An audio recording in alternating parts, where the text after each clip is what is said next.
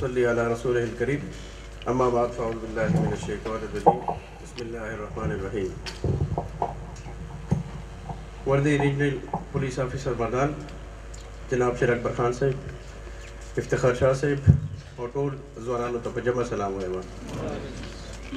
نن زموږ خوش قسمتي ده چې زموږ آر پی او صاحب چرسدې انتخاب وکړو چې زموږ د نفری سره مخامخ شي او هغه څه مسایل دي هغه مسایل دوی ته وړاندې شي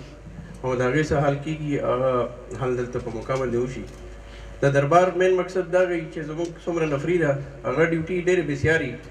او چې کوم مسایل دي کوم ویلفیر اسپیکټ دی هغه اکثر اګنور شوی نو چې کله داسې مشر راشي نو موږ هم په ښه په ډاډه سره هغه مسایل ورته ویلی شو او موږ ډېر خوشحاله یو چې هغه انتخاب وکړو زموږ د چرسدې زه هغه ته هرکلی وایم او ما چونکې دوی سره په سي پي او کې کار کړی دی، د دوی چې څومره په زړه کې د خپل فورس لپاره مینه ده او ویلفیر اسپیکټ څومره دوی په امپورټنس ورکوي،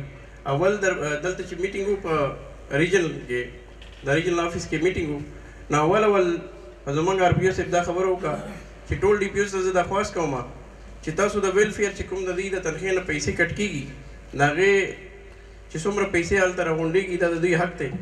چې څوک بیماران وي چا ته څه په کور کې څه مسلې وي د هغه کیس تیاروي او ویلفیر برانچ ته یې لیږي نو دا زموږ د آر پي او صاحب یو ډیر زبردست په زړه کې سافټ کارنر دی زموږ د فورس لپاره